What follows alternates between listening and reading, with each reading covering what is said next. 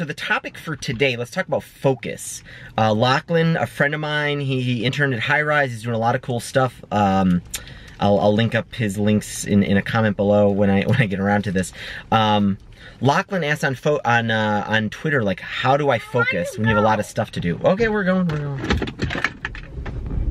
I'll get back to it. And show you something I can do. What are you gonna do with my my tube? Well, can I? You look like you're in the moon.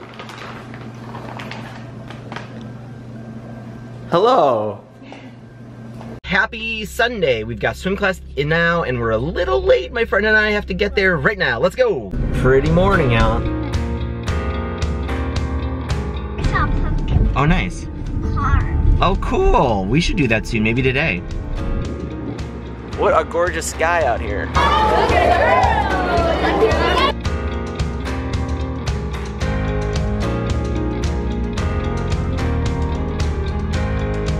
So Lachlan asked about focus. I think, to me, you know, there's all these, I think most people when they're worried about focus, they're worried about like, well, distractions. And they, they use all the software to kind of even measure their distractions, to turn off the distractions on their computer and stuff. I don't know, it's like, I think there's a bigger meta problem to just worrying about what's distracting you.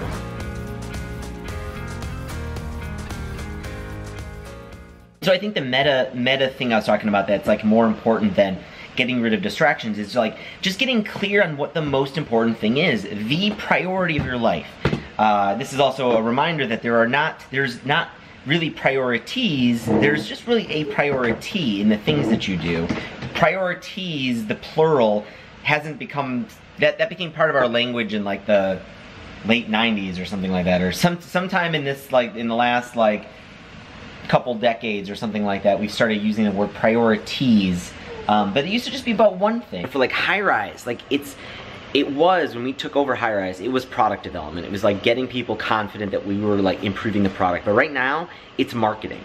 Marketing marketing marketing. And so it helps me focus on what I need to do. I know I can't spend as much time on these other things that are product development related, doing design and development, which I was doing before, because I know I need to spend more time with marketing. So I know Lachlan, he's a young guy, he's still got school going on, and so I'm not, this isn't advice about how, what he needs to focus on or the most important thing, but if I were to put myself in his shoes, kind of where I was back then, the most important thing for someone in school is just educating themselves. Um, and so that, that priority changed my life around. I used to be I, overwhelmed by the number of things I used to have to do in places like high school and college. But when I got clear that the most important thing was to focus on education versus kind of getting things done and getting things accomplished, it changed things. I knew I could turn in an assignment later. I didn't worry so much about the grade.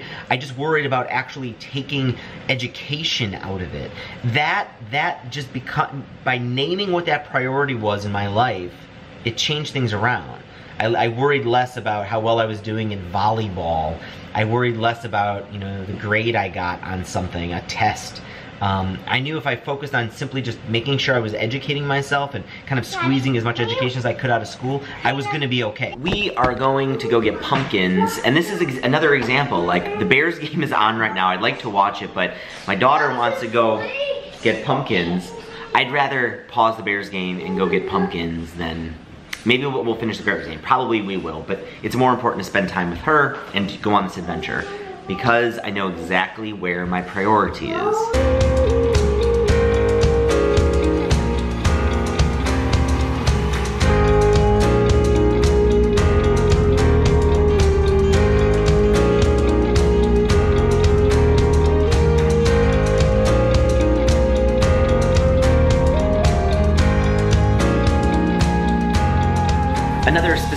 Think like where Lachlan might be coming from is as a student, I think another priority a student has isn't it's it's it's doing as many things as possible. I know when I was young, one of the best jobs I had kind of coming out of college was going to Accenture because I got to see so many projects and kind of the software and the business industry. It was always a, you know a new project. Sometimes it would take long, but you know after a year you're on to a new thing, learning a new technology, a new you know part of business.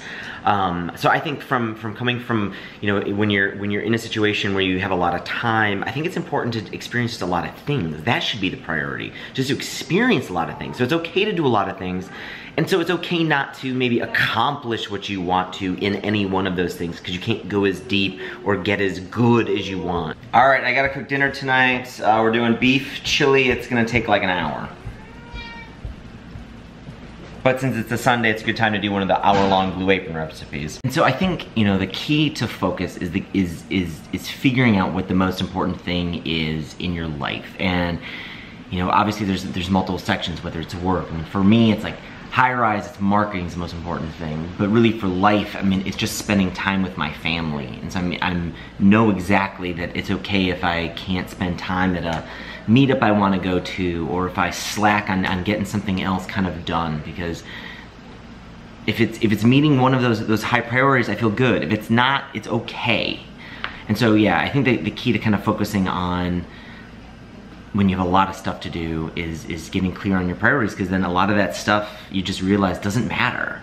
An extra tip to this whole thing is I mean, you, you hear it over and over again, the, the whole 80-20 rule, the Pareto principle, like 20% of the stuff that you do has like 80% of the impact. And it's probably even more like 10% of the stuff you do has like 90% of the impact. Most people who are working on stuff, it just doesn't matter. And I see that with Highrise. We work on some stuff and it doesn't move the needle for us. And it happens all the time, like 90% of the time. So I, uh, I gotta edit Edit some a vlog tonight. And it's kind of another example of just a priority. You know, getting the word out about me and getting the word out about the things I do, like Highrise. It's like more important at this point than learning to do more things or, or putting out more products. And so, um, it, it focuses me, right? It, it just naturally, like I, there's, there's plenty of stuff I wanna work on tonight.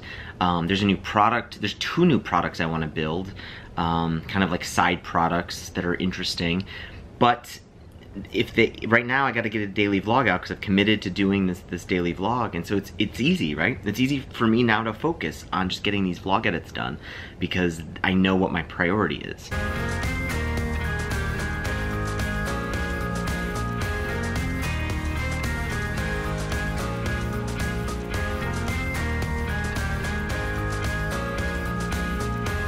That is crazy. It's got like bloodshot eyes and wow.